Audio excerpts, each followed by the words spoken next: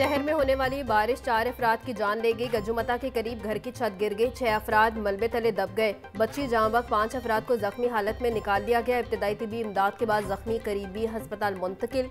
Nishat colony और कोट लखपत में current लगने से दो अफराद जाँबक। चुंगी अमर सिद्धू न्यासी चौक में बच्चा बारिशी पानी में डूब कर जाबक। शौक खानम चौक में घर की छत गिरने से दो अफराद जख्मी हो गए।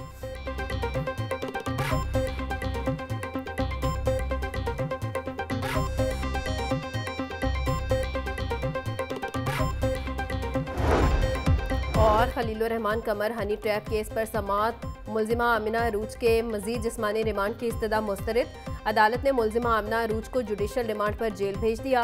पुलिस ने मुलजिमा आमिना अरूज को दो रोज़ा जिसमानी रिमांड मुकम्मल होने पर अदालत पेश किया। इंसदाद दहशत गर्दी के जज खालिद अरशद ने केस की समाप्त की।